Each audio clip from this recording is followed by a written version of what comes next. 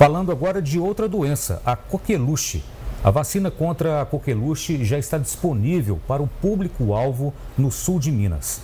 No entanto, mesmo com doses à disposição, as cidades mais populosas da região estão com a cobertura vacinal abaixo da meta de 95% estabelecida pelo Ministério da Saúde. O aumento de casos da doença, que é infecciosa e altamente transmissível, mas que pode ser controlada com a vacinação, chama atenção no Brasil desde o primeiro semestre do ano.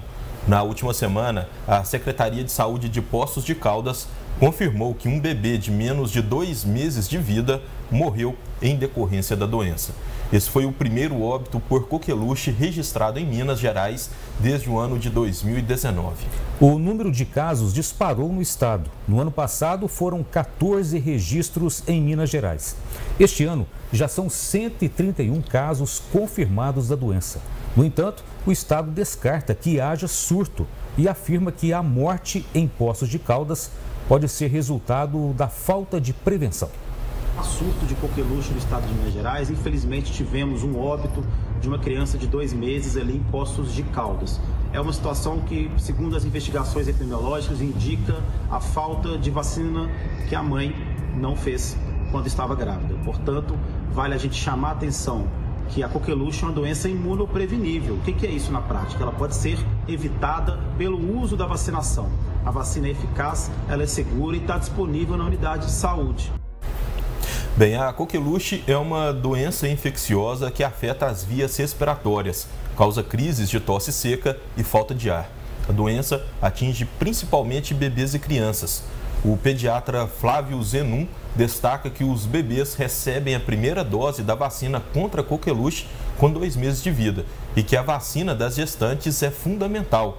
O profissional reforça também que em bebês a doença tem maior gravidade. Principalmente nos nenéns pequenos, abaixo de seis meses, porque eles não têm ainda a proteção, eles só vão ficar protegidos aos seis meses, 80% com a terceira dose da vacinação básica. Então, vacinação básica é com dois, quatro e seis meses vai ter um reforço com 15 meses ou é, 9 meses depois da terceira dose e com 4 anos de idade.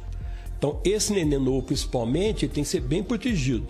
E a outra forma importante de proteger esse neném novo é vacinar a gestante na vigésima semana.